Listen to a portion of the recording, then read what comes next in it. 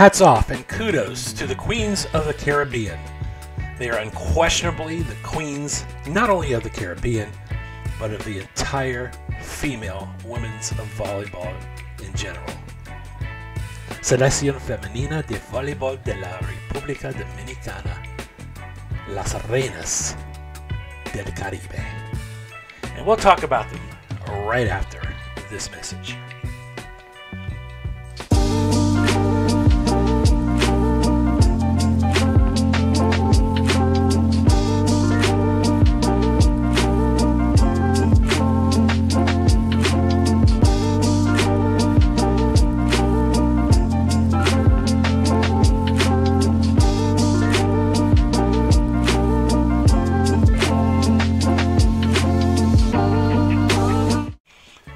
Welcome back to Dominican Rendezvous. Thank you for tuning in and taking a peek at the channel today. I do appreciate you. Please take a moment to subscribe to the channel, like, share uh, the content of this uh, particular channel, Dominican Rendezvous. I do thank you. And by all means, feel free to comment uh, as soon as you can during or after the video. That is appreciated too. A few years ago, I made a video here on Dominican Rendezvous and I talked about the Reinas del Caribe, the Queens of the Caribbean, the women's uh, volleyball team of the Dominican Republic. And I praised them and gave them accolades. And again today, I'll do the same. And I just felt that I needed to do a follow up and uh, spread a little bit more love about these women and this super team. They have accomplished a lot over the past few years. They have accomplished a lot this year, uh, being champions that they are. And I just wanted to, you know, give kudos to, to them as much as I could in this particular video in this channel today. To call them queens is a well-deserved title, and to be frank, they, in my opinion, are kick butt. They are true representatives of the Dominican Republic, of the Dominican Republic spirit, the, the energy of the Dominican Republic, and for the sports world in general, I think they are very good representatives as well. When they raise the bandera, the, the Dominican flag, you can be sure of their proud representation of their country, the Dominican Republic, not only at home, but also abroad.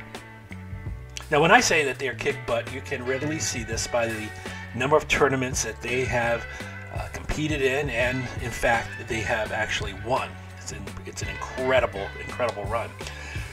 They recently beat Brazil and got the gold in the uh, Pan American Games. Uh, these young women are exciting to watch, and I implore you to take a chance to watch them if you can. Volleyball is more interesting to watch than you may think and that you may imagine at first. I did, especially when um, I started watching. I thought this is going to be boring or whatever, but actually, it is quite exciting once you get into it, and you watch the players like these who are at really at the top of their game. These they're real professionals in what they do. What you will come to quickly notice about them and, and about their success is that their success is due to their, I would say, to their discipline clearly. They have a love and a respect for each other and their team members. You see, when you see them and how they respect their captain, uh, their captain, uh, Nevaria uh, Marate, number seven, and how the captain in turn returns the courtesy to the players. You see that. You see how they communicate well with each other and how well trained they are together and how they, they bond together and on and off the court if you do follow them. In the games that I watched, one of the things that floored me was their super crisp passing, and I am no expert. The passing skills looked amazing to me. Uh, both their underarm and their overarm passing, their blocking, their attacking skills, all of that was just is, is pretty awesome to watch and to, to witness. And lastly, as I said before, you can feel their admiration and their dedication to the sport and to the game. These women are famed around the world. They're known around the world.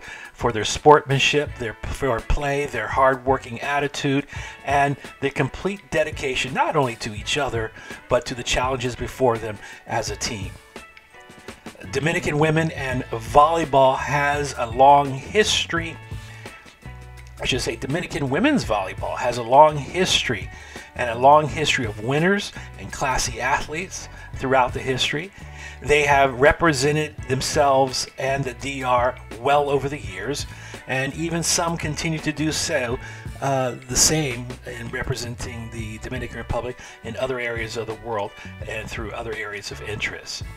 And so I tip my hat to these winners. I give them a bow. And to their coach, Marco Kwiek, who's done a tremendous job, and the 20 team members, long live Las Reinas del Caribe. From me to you, Dominican Rendezvous.